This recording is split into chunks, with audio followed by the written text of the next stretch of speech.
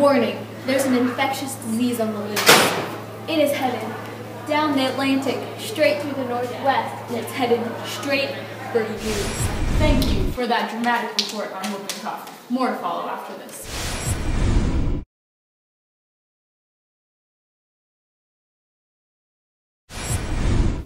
Whooping cough is an infection caused by the bacterium called Bordetella pertussis. Whooping cough is a bacterial disease that infects the respiratory tract and prevents natural defense systems from removing germs. This causes mucus accumulation, which leads to the continual coughing and sometimes vomiting. In 1906, French scientists Jules Bordet and Octave Gengou identified the pertussis bacterium that causes whooping cough. They were bacteriologists, which means they specialized in studying bacteria.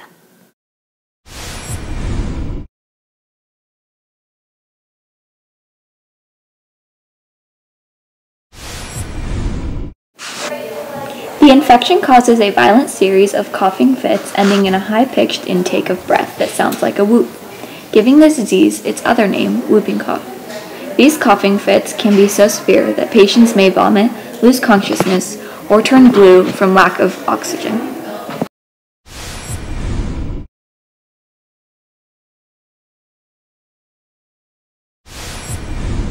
Pertussis usually lasts for a 100 days. This is why it is sometimes called the 100 day cough. After these 100 days, pertussis can cause pneumonia, especially in infants. Pertussis can also affect the lungs' function that might result in shortened breaths that can limit activity. The potential for serious and lasting effects of pertussis are an important reason that children should begin their vaccines and receive every dose on time.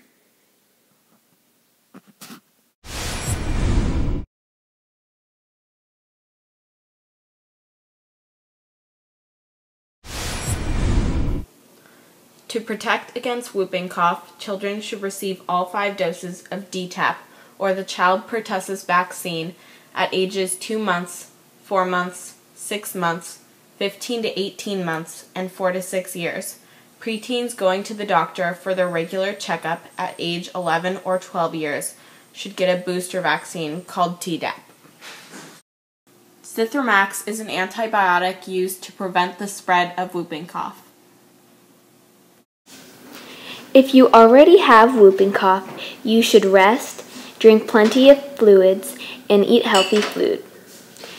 Once you have been diagnosed with whooping cough, the best way to kill the bacterium is with antibiotics. If you already have whooping cough, treatment with antibiotics makes little impact on the course of the illness. However, the patient is still usually given antibiotics to make them no longer infectious.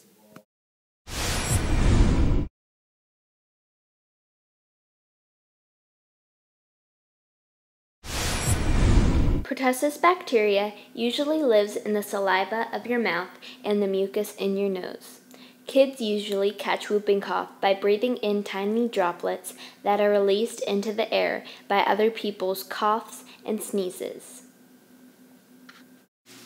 In a similar way, colds are spread through tiny droplets in the air. This is why it's a good reason to cover your mouth and nose whenever you sneeze or cough.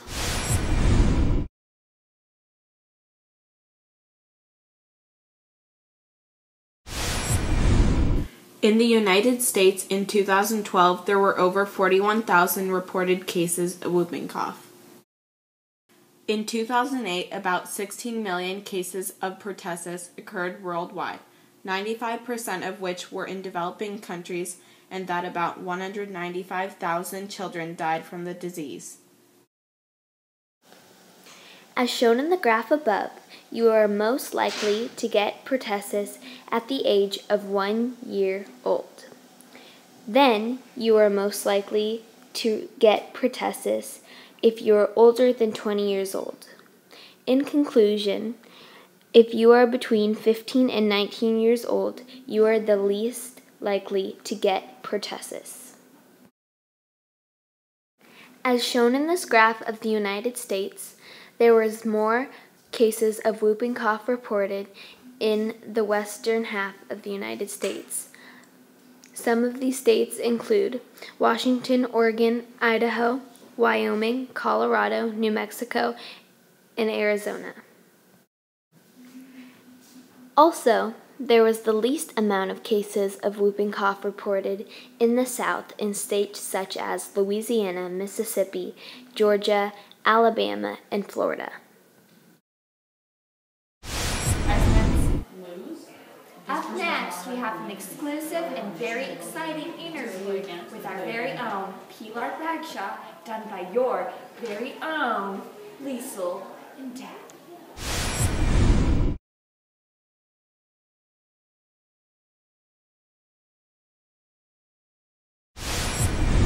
Describe some cases of whooping cough that you have seen. Here we have Dr. Bradshaw to answer some questions about whooping cough. So, can you describe some cases you have seen? So whooping cough is a very serious illness that can be life-threatening, actually, in especially babies under the age of six months. And I can think of many cases of whooping cough that I've seen in my career. I saw an O'Hara student, actually, just two weeks ago, who was a school-age kid who came in with a horrible cough. He had whooping cough, but those aren't really the ages that we're worried about. Who we're worried about are young babies. A few years ago, I had a family who um, was seeing a different doctor, and they asked for me to consult about the cause of this young baby's cough.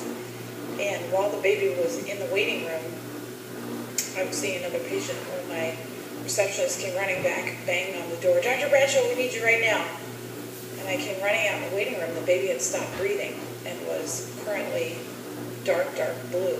So we called 911. The ambulance came. I rode in the back of the ambulance baby breathe with something called a bag and mask that gave oxygen and breaths.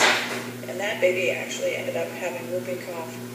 Nearly died in my waiting room, nearly died in the hospitals many times over because these young babies, instead of whooping, where they cough, cough, cough, cough, and then take a deep breath, young babies with whooping cough have what's called apnea, where they just stop breathing. So this baby stopped breathing repeatedly and ended up having to be transferred by life flight to Doernbecher Pediatric Intensive Care Unit. Can whooping cough Can whooping cough be treated? Whooping cough can be treated, but it's a little confusing for some people because it's not effective to give them Zithromax once they've been diagnosed to treat them. It's too late for them. The reason you give Zithromax is to keep them from spreading it in the community to other people. The best thing for whooping cough is preventing whooping cough. And the way that you most effectively can prevent that is by vaccinating. Is the vaccine 100% effective?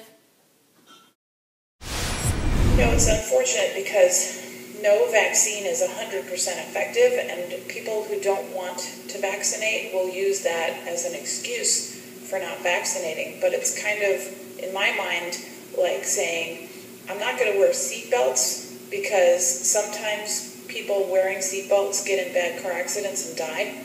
So it must mean that seatbelts aren't effective. That's not true. Vaccines are very effective. The whooping cough vaccine is unfortunately not as effective as some of the other shots when you've had a full course of pertussis vaccination. You're still only about 85% affected by it or protected by it. But 85% protected is a lot better than 0% protected. And it's not just for you, that's the thing. I very strongly encourage people to think about something called herd immunity, where you're vaccinating yourself and your children protects other people's babies.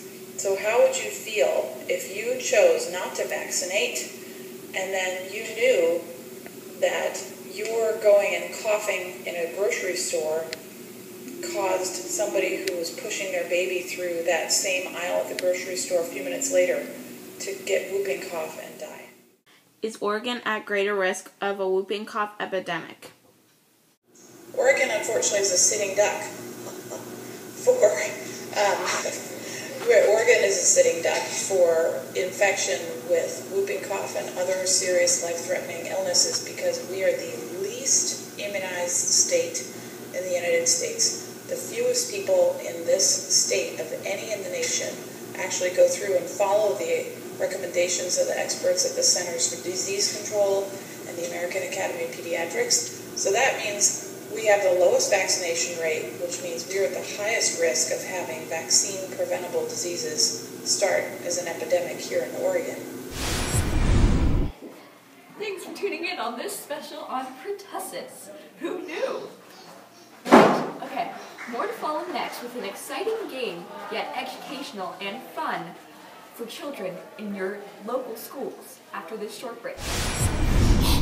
It looks like you need some May Bloomer cough medicine. It'll cure all your sicknesses. Yay!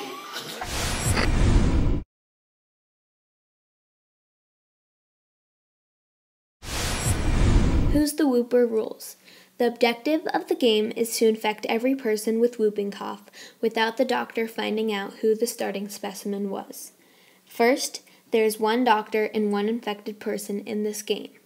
Second, we will go around and tap two people on the head. If you get tapped once, you are the infected person. If you get tapped twice, you are the doctor. Third, once the doctor and infected person have both been secretly chosen, everyone will line up in a circle around the room. The doctor will stand in the middle of the circle. 4. From here, all the people in the room will look around the circle at each other. If the infected person sticks their tongue out at you, then you collapse to the ground and start coughing. You have been infected by whooping cough. 5. This continues until the doctor spots the original infected person while they are sticking their tongue out, or until every person has been infected.